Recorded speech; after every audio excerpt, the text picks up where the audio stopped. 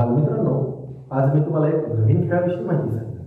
जसं मी तुम्हाला साहित्य दाखवतो तुम्ही सुद्धा हा खेळ कधीतरी खेळला असेल तरी मी तुम्हाला ते साहित्य दाखवतो त्याचे नाव ओळखा बरं. हा अगदी बरोबर. हा काय आहे? भोरा. आणि हे काय आहे? सुतळी.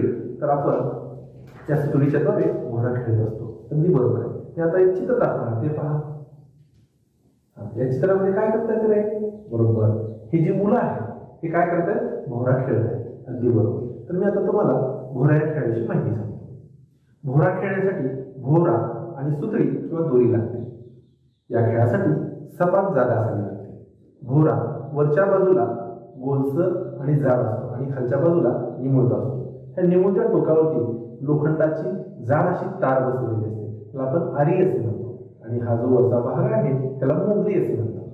तर आरीकडून वरच्या भागाकडे सुतळी गुंडाळून दोरीचे एक टोक हातात पक्की धरून भोरा आरीवर पडेल अशा रीतीने फेकला जातो. हा खेळ दोन किंवा तीन खेळाडूंनी खेळला जातो सहभागी खेळाडू एकाच वेळी भोरा फिरवण्यासाठी जमिनीवर सोडतात.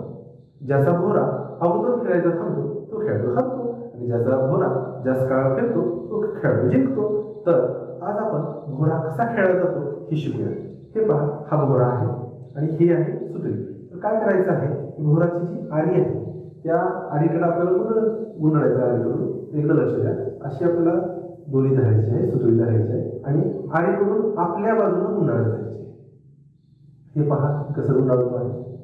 त्याच पद्धतीनं तुम्हाला सुद्धा गुंडाळायचे आहे आणि आपल्याला हा खेळ खेळायचा आहे.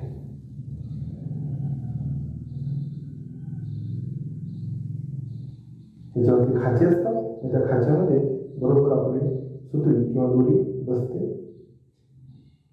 आणि उरलेली दोरी आहे आपल्या बोटाला बोलून आता आरीवर पडेल अशा रीतीने आपल्याला फेटायचं.